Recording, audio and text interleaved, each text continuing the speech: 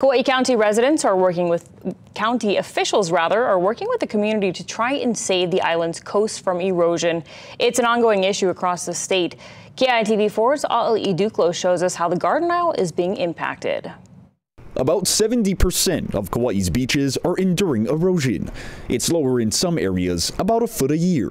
But erosion in Ha'ena and Kekaha can be as substantial as 3 to 4 feet yearly. That's according to County Planning Director Ka'aina Hull whether it's for recreation purposes, cultural purposes. Um, the beach, that coastal area, is, is ingrained in our identity. The planning department held several public meetings over the past two weeks discussing how the county can adjust to the impacts of climate change.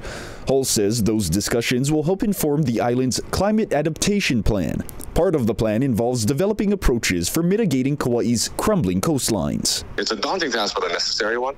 Um, how the built environment interfaces with the ocean um, or doesn't in, in, its absence, right, is, is uh, critical to Hawaii to Kauai. Some ideas shared for mitigating erosion include land swaps with the county, dune restoration, and managed retreat, a process that calls for shifting inland homes, businesses, and underground infrastructure such as pipes. Those of us uh, in the coastal planning and co- coastal science community are realizing that uh, it's a very complex and so far largely unsolvable set of issues. Hull says the department is looking into hosting more meetings in the coming months about reducing greenhouse gases.